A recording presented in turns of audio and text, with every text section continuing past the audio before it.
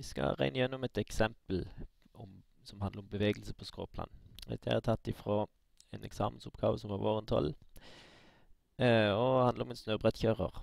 Snøbrettkjører med totalmasse 80 kg starter fra ro og slir nedover en bakke med konstant tellingsvinkel alfa lik 24 grader. Friksjonstallet mellom brettet og underlaget er mye lik 0,060. Vi ser bort fra luftmotstand i hele oppgaven. Oppgava tegn kreftene som virker på snøbrettkjøreren, og vis at akselerasjonen er 3,5 meter per sekund i andre.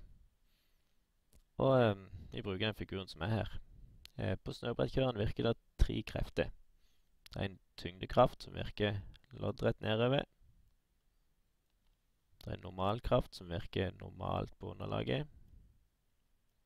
Og det er en friksjonskraft bakover. Den heter R, og den heter N. Um, for at vi skal kunne regne med dette her, og finne akselerasjonen, så må vi dekomponere tyngdekraften.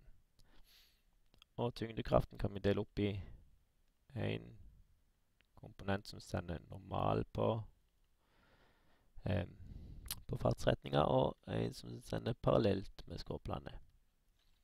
Og vi vet at den vinkelen der, den er alfa, 24 grader. Og eh, da kan vi jo finne uttrykk for disse her kreftene òg. Vi vet at GP den vil være G ganger sinus alfa. Og GN vil være G ganger kosinus alfa. Samtidig så vet vi at R er lik mye ganger N. Og vi vet òg at siden det er ikke noe bevegelse på tvers av skråplanet, så vil kraftsummen på tvers av skråplanet være null. Newtons første lov gjelder. Og det betyr at normalkraften er lik Gn. Altså den kraftkomponenten her er like stor som den kraftvektoren. Og eh, da kan vi finne akselerasjonen.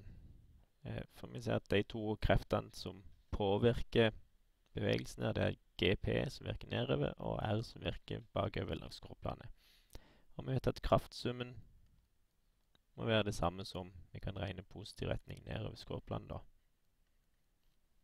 Um, og um, det er det samme som GP minus R.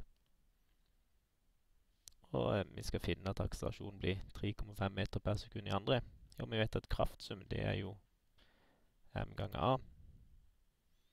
Og vi vet at GP det er G ganger sinus alfa, eller om vi vil MG sinus alfa og minus R. Og R det er my ganger N. Og N vet vi allerede er Gn, altså my ganger G kosinus alfa.